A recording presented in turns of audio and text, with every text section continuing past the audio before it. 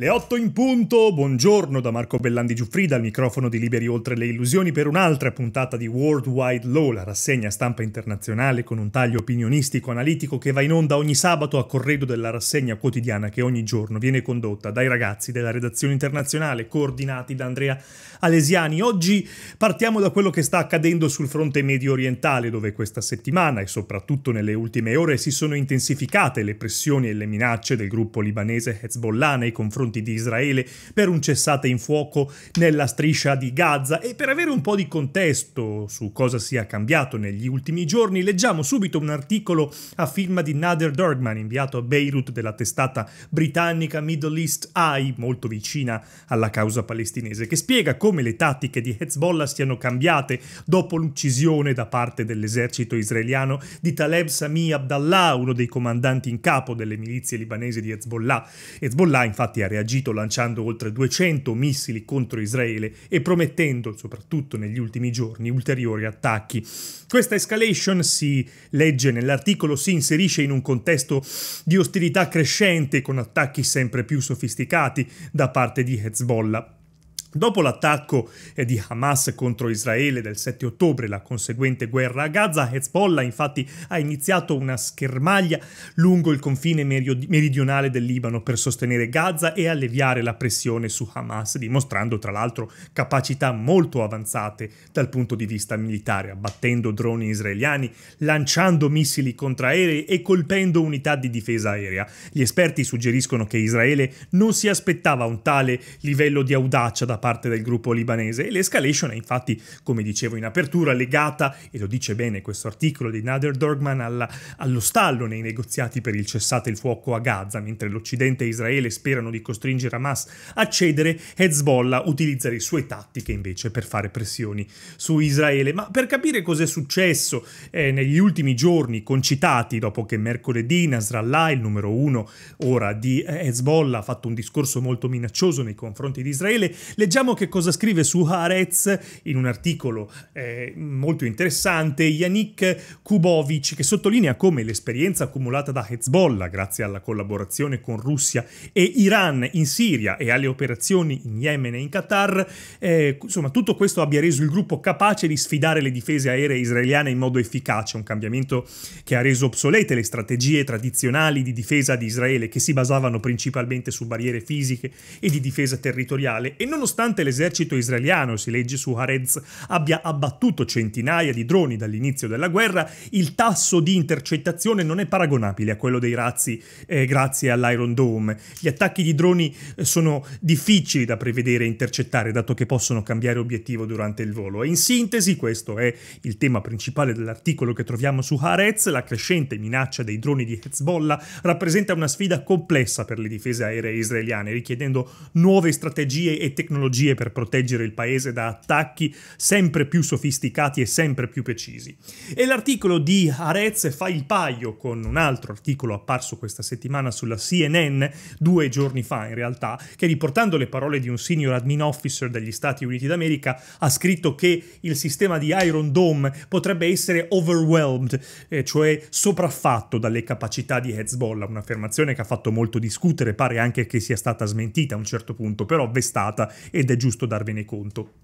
E sempre a proposito della stampa statunitense voglio segnalarvi alcuni commenti che sono apparsi in questi giorni sui principali media outlet americani. Mark Champions su Bloomberg per esempio ha scritto che con il gabinetto di guerra di Netanyahu messo da parte e con i colloqui di pace in stallo, la sua più grande debolezza, la più grande debolezza di Netanyahu è emersa. Non ha infatti un piano per porre fine a questa guerra e dopo la fase calda che dovrebbe terminare nelle prossime settimane si prevede infatti che le incursioni dell'esercito di difesa israeliano israeliano continueranno ed è questa una sorta di ricetta, la chiama Mark Champions su Bloomberg, per una guerra e un'occupazione senza fine. Peraltro questo eh, pare essere una strategia eh, studiata da Netanyahu perché effettivamente, ricorda Mark Champions su Bloomberg, se si raggiungesse la pace, l'ultradestra che lo sostiene farebbe cadere il suo governo e lo esporrebbe al rischio di finire in carcere per le sue molteplici accuse di corruzione, dalle quali sappiamo Netanyahu si sta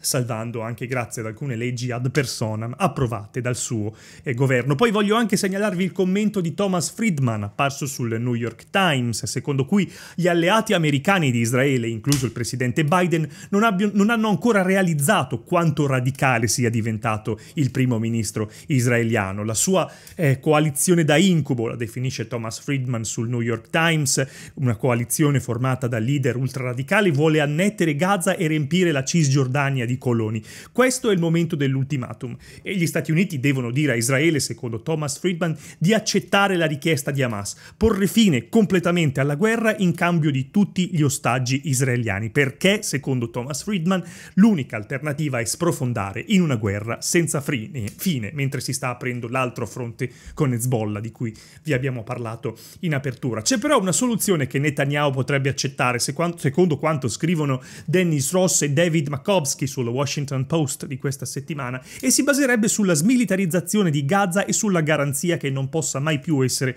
militarizzata. Prima di tutto lasciare che Israele distrugga abbastanza laboratori di armi, strutture di posizione, di produzione, depositi e tunnel di Hamas, così da rendere impossibile la loro eh, ricostruzione. Poi si tratterebbe di coinvolgere l'Egitto e gli Stati Uniti per fermare il contrabbando e monitorare tutti i materiali di ricostruzione e se Israele può concordare un punto finale, molte altre cose possono andare a posto, altrimenti, questo secondo Dennis Ross e David Makowski, ci saranno scenari molto peggiori all'orizzonte. Devo dire, condivido molto di più invece l'analisi di Thomas Friedman sul New York Times, che a mio parere eh, sembra più eh, realistica, considerato anche la situazione di politica interna di, eh, del governo israeliano.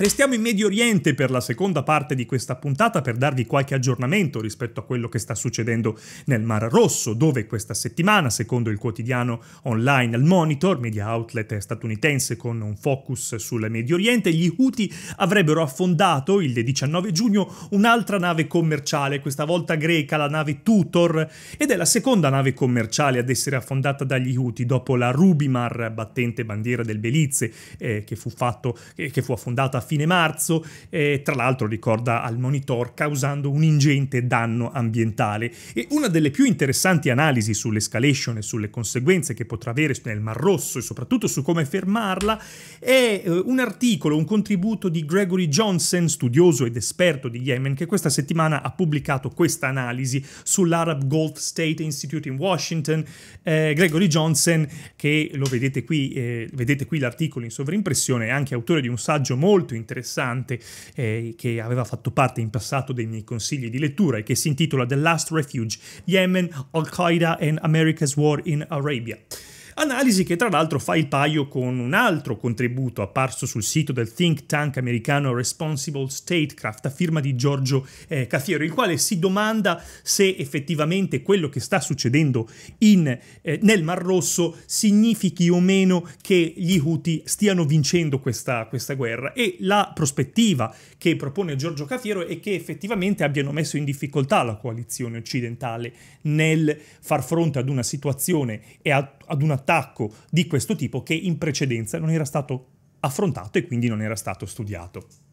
E dal Medio Oriente torniamo invece in Europa dove, come avete sentito dai ragazzi questa settimana, non c'è stato l'accordo sperato sui nomi, sul nome del presidente della Commissione europea e sta sfumando sempre di più l'ipotesi di una von der Leyen bis. Su questo tra l'altro segnalo l'apertura di ieri sera dell'edizione online del sito politico EU che ha eh, insomma un focus su quello che accade a Bruxelles perché appunto ha sede a Bruxelles la, eh, insomma, l'headquarter del giornale. Ebbene invece si fa sempre più viva l'ipotesi di Antonio Costà come presidente del Consiglio dell'Unione Europea, nonostante lo scetticismo del Partito Popolare Europeo, e a tracciare un ritratto di quello che probabilmente sarà il prossimo presidente del Consiglio dell'Unione Europea è questa settimana il settimanale portoghese Vigiao, che sulla copertina ha un titolo abbastanza significativo, lo state vedendo in questo momento. Le sette vite di Antonio Costà, dopo aver visto crollare, si legge nell'occhiello, la sua maggioranza assoluta con l'operazione influencer, e lo dico eh, per ricordarlo, l'inchiesta l'inchiesta che ha portato alle sue dimissioni lo scorso aprile, un'inchiesta che si basava su alcune intercettazioni telefoniche,